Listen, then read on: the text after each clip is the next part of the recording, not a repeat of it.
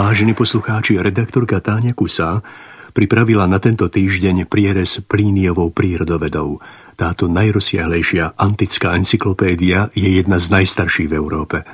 Takmer 2000 rokov starý text z latinčiny preložila Eleonora Valová, ktorá napísala aj úvod. V režii Jaroslava Riháka účinkujú Darina Vašičková a Karol Machata. Plínius starší, História naturalis, prírodoveda.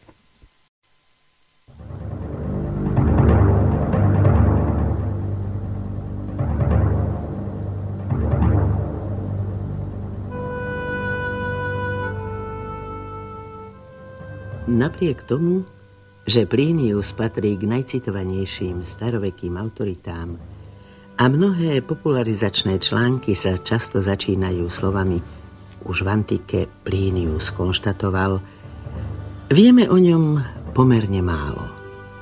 Možno si ešte spomenieme, že Plinius našiel svoju smrť v Pompejach počas pamätného sopečného výbuchu roku 79 keď sa usiloval byť prospešný svojim krajanom a zároveň získať nové poznatky o tomto desivom prírodnom živle.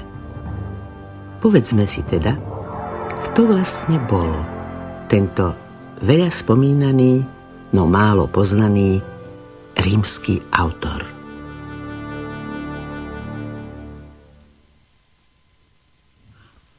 Plinius žil v rušnej dobe prvých rímskych cisárov, v prvom storočí nášho letopočtu.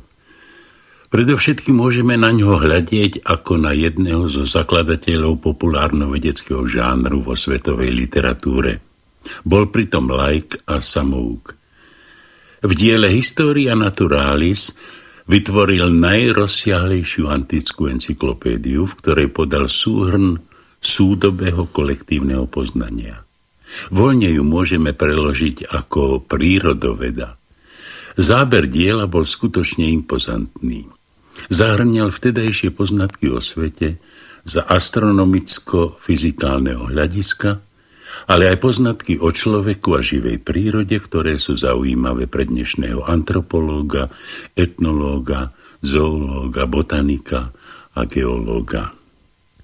Popri praktických radách týkajúcich sa polnohospodárstva a príbuzných odborov, popredné miesto v jeho knihe pripadlo najmä medicínskym poznatkom. V propagovaní výsledkov, ku ktorým dospela antická medicína, najmä v liečbe, videl Plinius aj možnosť, ako prejaviť svoj osobný altruizmus a vlastenectvo – Nezanedbával ani poučenia, ktoré uštedrujú dejiny a preto jeho dielo priam hýry anekdotami, legendami a povestiami, čerpanými najmä z rímskej histórie. Encyklopédia bola mimoriadným počinom, ktorý si aj dnes zasluhuje úctu. Vyžadovala si železnú pracovnú disciplínu, v skutku vojenský drill, ktorý Plinius ako bývalý dôstojník rímskej armády mal v krvi aby sme mali predstavu o jej rozsahu. V slovenskom preklade je to vyše 1800 strán. Náš obdiv ešte vzrastie, ak si uvedomíme, že autor za cisára Vespaziana zastával aj zodpovedný politický post štátneho tajomníka.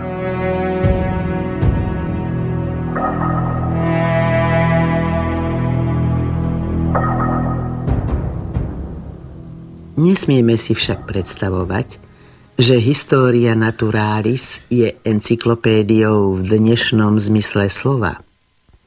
V duchu antických názorov na literatúru sa usiluje zanechať v čitateľovi aj estetický dojem, pobaviť ho, zaujať jeho pozornosť. Preto často uvádza fakty, ktoré sa vymykajú bežnej skúsenosti, zaujímavosti, záhady, kuriozity, kým javy predvídateľné, pravidelné, obyčajné v nej majú len druhotný význam. Príroda sa vyznačuje aj etickým rozmerom. Náš autor je hlboko presvedčený, že v nej vládne harmónia, založená na vzájomnej rovnováhe proti sebe pôsobiacich síl, sympatie a antipatie. Plíniovi božstvo splýva s personifikovanou prírodou, ktorú obdarúva prívlastkami ako dobrotivá, predvídavá, starostlivá, najmä vo vzťahu k človeku. Ten je, napriek mnohým výhradám, jej najdokonalejším výtvorom. Cieľ encyklopédie bol aj etický. Vzbudiť úctu a obdiv k prírode, ktorej autor pripisuje nepredstaviteľnú mnohotvárnosť, plodnosť a tvorivosť.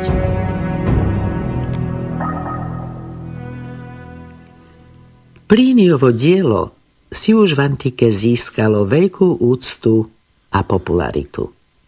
Dôkazom toho je, že sa zachovalo v kompletnom rozsahu.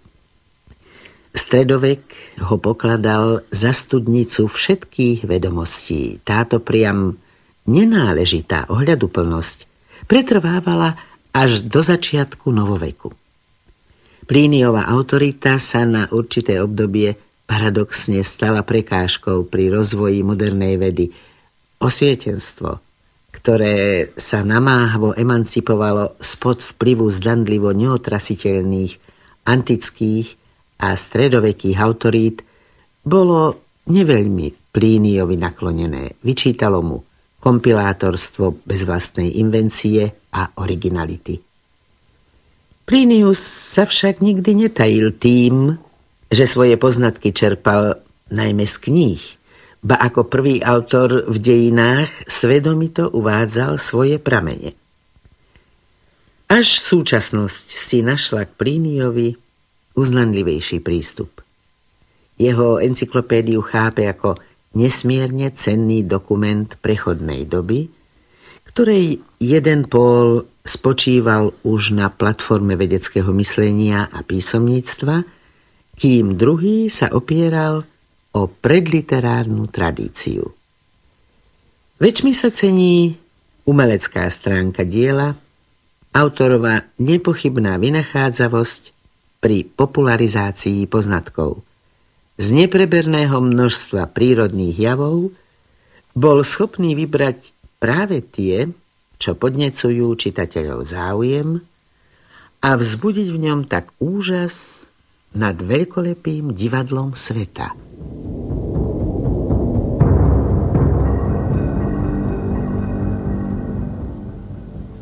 Príroda, božstvo, svet ako boj a rovnováha živlov.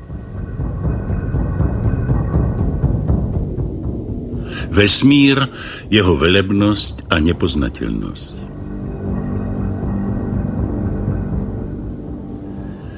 Svet a všetko, čo sa nazýva iným slovom, nebo, teda nebeská klemba, ktorá všetko pokrýva, musíme pokladať za božstvo. Večné, nekonečné, nezrodené a nehynúce. Nie je v záujme človeka pátrať po tom, čo je za jeho hranicami, ani v jeho sílách to pochopiť. Svet je posvetný, väčší, nesmierný, celý v celku, ba sám je celok, nekonečný a predsa podobný konečnému. Najsamozrejmejší vo všetkých prejavoch, zároveň však nepredvídateľný. Všetko jestvujúce v ňom i mimo neho obsahujúci. Dielo prírody, príroda sama. Rovná sa šialenstvu, že sa niektorí učenci opovážili zisťovať, ba dokonca verejne uvádzať jeho rozlohu. Iní zasa povzbudení týmto bludom, ak neboli priamo jeho pôvodcami, sa nebali tvrdiť, že jestuje nespočetné množstvo svetov. Z toho potom vyplýva, že treba veriť v také isté množstvo prírod. Ak však jedna príroda zahrňa všetky svety, bolo by nevyhnutné predpokladať existenciu práve toľkých slnk a mesiacov, ohromných a nespočetných hviezd, ako v našom svete. Ako by sa človek túžiacemu po nejakej hranici poznania nevynárali vždy tie isté otázky. Ako by sa túto nekonečnosť, ak ju možno pripísať prírode, ako tvorkyni všetkých vecí nedalo ľahšie pochopiť v našom svete, ktorý je sám o sebe obdivuhodný. Je naozaj nerozumné vychádzať z toho, že všetky javy sveta sú už úplne známe a vysvetlené a tak chcieť skúmať vzdialené hranice. Ako by mohol mieru niečoho pochopiť ten, čo nepozná ani svoju. Alebo ako by ľudská mysel mohla uzrieť aj to, čo sám svet neobsiahne.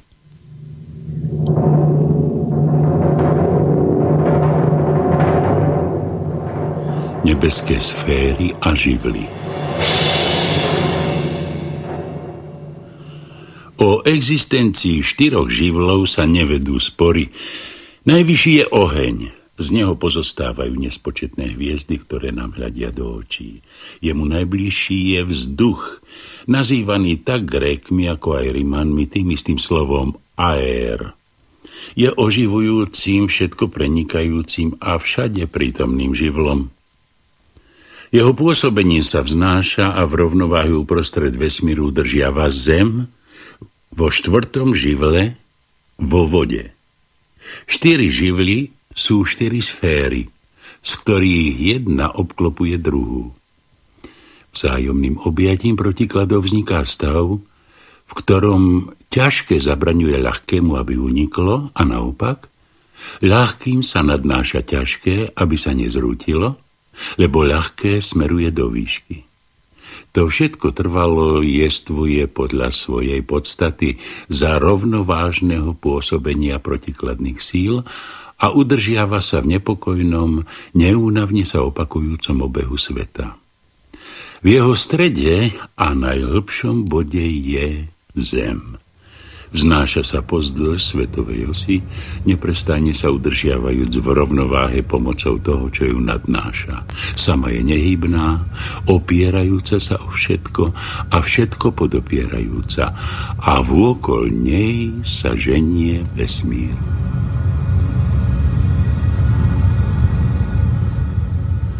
Medzi zemou a nebom sa vétery vznáša v rozličných vzdialenostiach od seba sedem hviezd.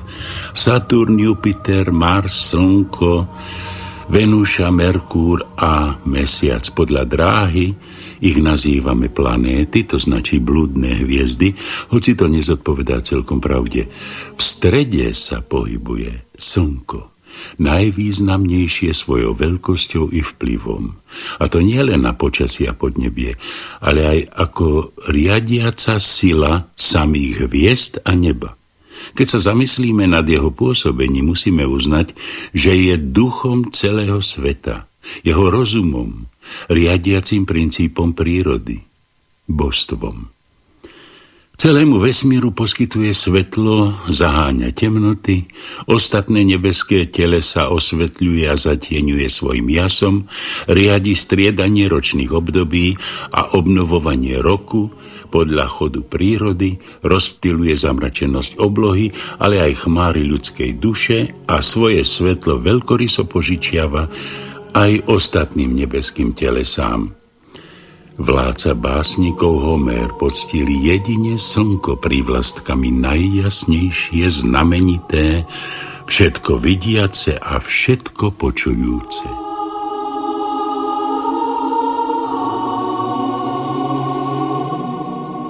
Povaha božstva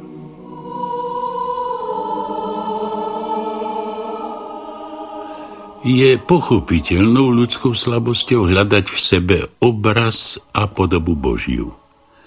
Nech je Boh akýkoľvek, ak vôbec jestvuje iný než sám svet, a nech sa už nachádza kdekoľvek, určite všetko cíti, vidí a počuje. Je to dokonalý život, duch završený sám v sebe.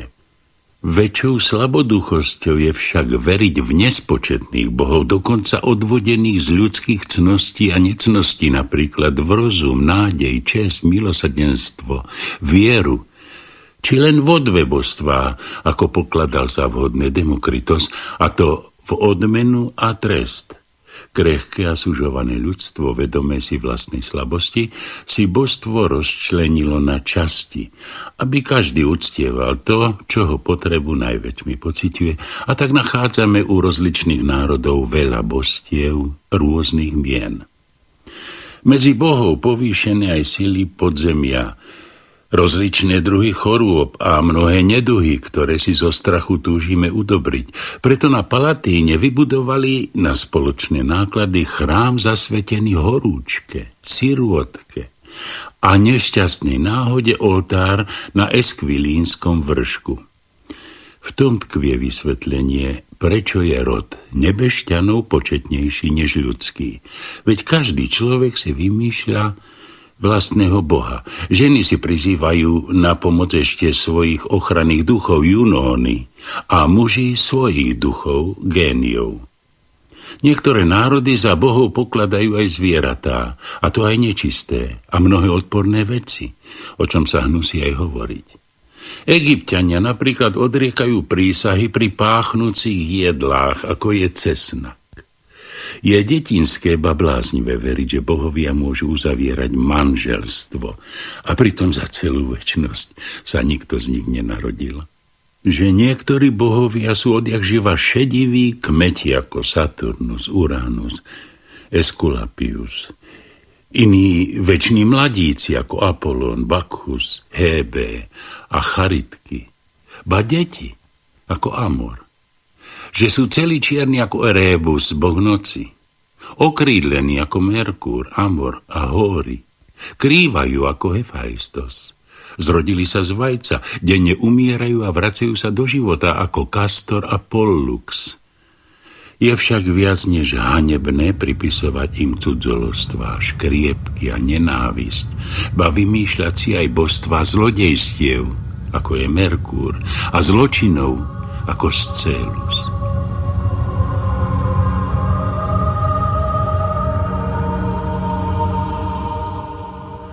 Predsa sa človek môže stať Bohom, keď pomáha svojmu blížnemu. To je cesta k väčšnej sláve. Ju si zvolili najušľachtilejší Rimania. Po nej v súčasnosti kráča so svojimi deťmi božským krokom aj najväčší vládca všetkých čias Vespasianus Augustus, ktorý zmierňuje všeobjímajúcu biedu. Je prastarým zvykom vyjadriť uznanie ľuďom, čo majú veľké zásluhy tak, že ich začnú pokladať za bohov. Aj mená bohov a planét, ktoré som spomenul, sa zrodili zo záslužných činov ľudí. Netreba preto vôbec pochybovať, že kedysi jestvoval Jupiter či Merkúr alebo iný kvôli rozlíšeniu inak nazývaní bohovia že existoval rad nebeských mien, keď vychádzame z prirodzeného vysvetlenia. Máme vari veriť, že najvyššia bytosť, nech je už akákoľvek, sa stará o ľudské záležitosti a pritom si nepripúšťať, že sa zhanobí takou smutnou a nestálou službou? Kto vie, či osoží ľudskému rodu, keď si síce uctieva Bohov, ale uctieva si ich spôsobom, za ktorý sa treba hambiť. Ľudia posluhujú cudzím modlám, božstvami si vyzdobujú prsty, klaňajú sa tvorom, ktoré vzbudzujú des, vymýšľajú si a zatracujú niektoré jedlá. Dobrovoľne si ukladajú strašlivé príkazy a sa napokon nevedia ani uložiť k spokojnému spánku. Neuzavrú manželstvo, nepočnú deti, nepodniknú nič, iba ak im božstvá žičia. Naopak iní veselo klamú na kapitole, kde uzatvárajú dohody, zaprisávajúc sa bleskovládnym Jupiterom a pritom sa týmto ľuďom navzdorí ich zločinom darí, kým druhých nábožných stíhajú trestami vlastné božstvá.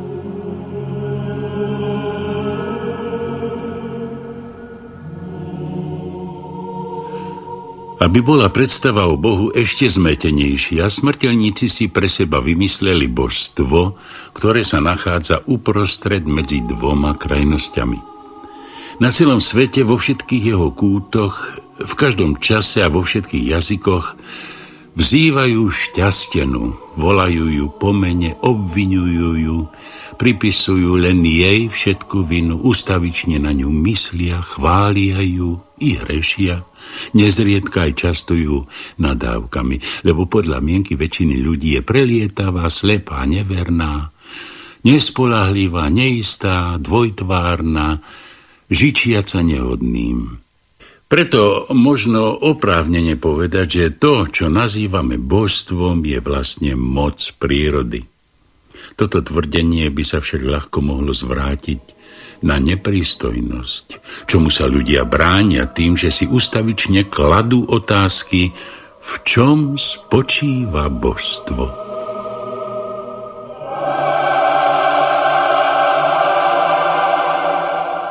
Vláda vzduchu Toľko o svete samom a hviezdach. Teraz sa ešte zmienime o ostatných pozoruhodnostiach neba. Naši predkovia totiž nazývali nebom, célum aj to, čo sa iným slovom označuje ako vzduch, ovzdušie. Všetko to zdanlivé prázdno, ktoré rozlieva životodarný duch. Oblasť vzduchu sa nachádza pod mesiacom a to značne nižšie. Pri tom ustavičnom pohybe prírody, ktorú akoby poháňalo mlínske koleso, sa v rýchlom výrení sveta podnecuje boj živlov. Ten nikdy nesmie utíchnuť, ale krúti sa v ustavičnom prudkom pohybe a tak nám v ohromnom klpku obklopujúcom zem raz odkrýva prvotné príčiny, kým inokedy zahaľuje nebo a všetko oblakmi. Tu je kráľovstvo vetrov aj ich prirodzená podstata, ktorá obsahuje aj príčiny ostatných javov.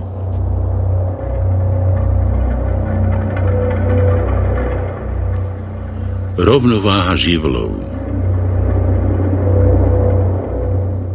Neostáva nám než veriť, že to tak zariadila stvoriteľka príroda, aby sa zem a voda spájali vo vzájomnom objatí. Zem, ako vieme, je suchá a vyprahnutá a nemôže byť bez vlhkosti. Voda naopak nemôže jestvovať len, ak ju nosí zem. Zem otvára svoju náruč, voda ju celú preniká znútra, zvonka, z hora aj z dola, so žilami rozbiehajúcimi sa ako stužky, ba vyráža aj na najvyšších pohoriach, kde ju vyháňa vzduch a vytláča váha zeme na spôsob vodotriskov bez nebezpečenstva, že spadne dokonca, vyskakuje do výšav. Na základe tohto je zrejme, prečo sa moria nerozvodňujú, napriek tomu, že sa do nich denne vlievajú toľké rieky. Celá Zemegule je teda práve vo svojom strede opásaná morom, ktoré sa rozlieva vôkol nej, čo ani netreba rozumovo zdôvodňovať, lebo je to známe zo skúseností.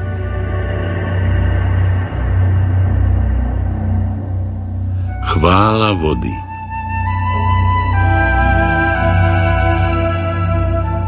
Stvoriteľka príroda nezabudla na vodu. Vyskúšala si dravú silu aj na vlnách a vracajúcom sa príboji prudkom toku riek. Ba jej moc je tu, pravdu povediac, najväčšia. Lebo vodný živel vládne nad všetkým.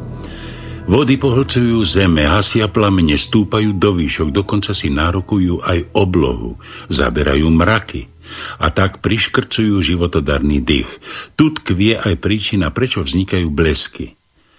Svet je v ustavičnom rozbroji sám so sebou. Môže byť väčší zázrak než vody na oblohe? Ako by im nestačilo dosiahnuť takú výšku, strávajú so sebou aj roje rýb, ba často kamene, vystupujú, vynášajú cudzorodé bremená. Keď padajú na zem, ich zásluhou vzniká na nej život. Je to skutočný zázrak, keď uvážime, že vody vyživujú stromy a kry, ktoré potom prinášajú plody že znášajú rastlinám životnú silu zo svojej púte po oblohe. Preto právom platí, že všetky sily zeme jestvujú vďaka vodám.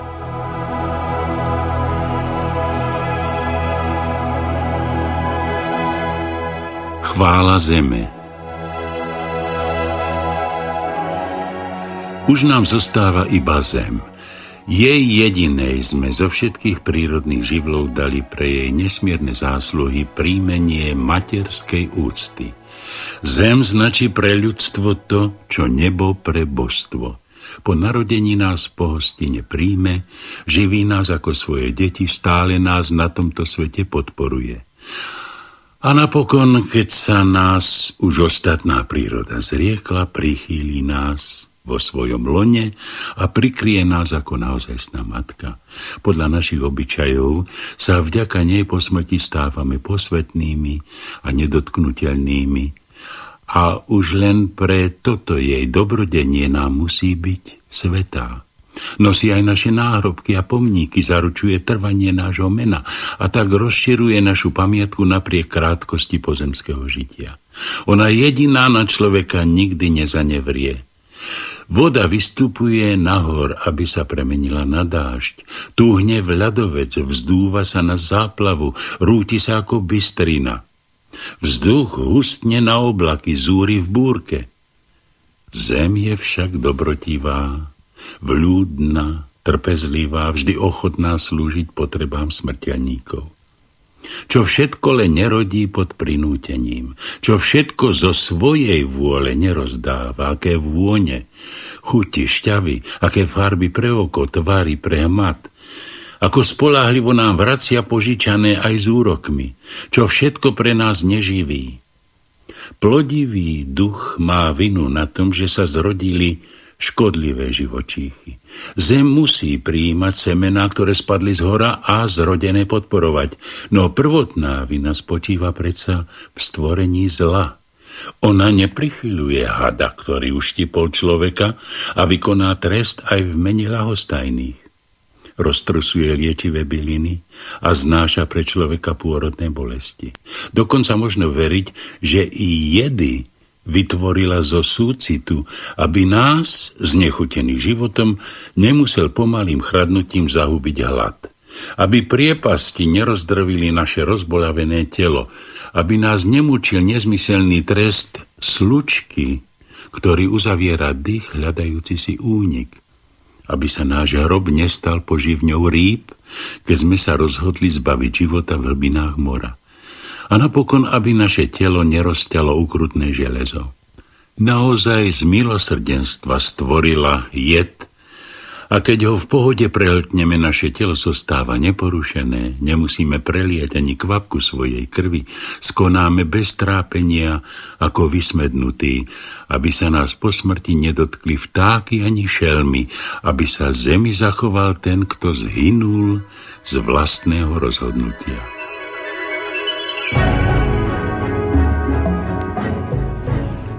Uznajme pravdu. Zem nám stvorila liek na všetky zlá. My však z neho robíme jed, ohrozujúci život. Nezneužívame vary rovnakým spôsobom aj železo, bez ktorého sa nemôžeme zaobísť? Napriek tomu by sme neoprávnene reptali, keby ho stvorila len na to, aby nám škodila. Veď sa správame ako nevďačníci k nej, k súčasti prírody. Vary neslúži človeku, pre každú jeho zábavu, každý priehrešok. Necháva sa hádzať do morí, kopať, aby sme mohli vybudovať svoje prieplavy. Spôsobujeme jej ustavičné muky vodou, ohňom, železom, drevom, kameňom, vymáhaním úrody a to skôr preto, aby nám slúžila pre pôžitok, než aby nás živila. Nech sa jej zdá znesiteľné to, čo je nútená znášať na svojom povrchu, na vonkajšej vrstve. Nám to nestačí, prenikáme až do jej útrop. Prekopávame ju kvôli žilám zlatá striebra, medeným a oloveným rudám. Prehľadávame ju hlbinami šácht aj pre malicherné drahokamy.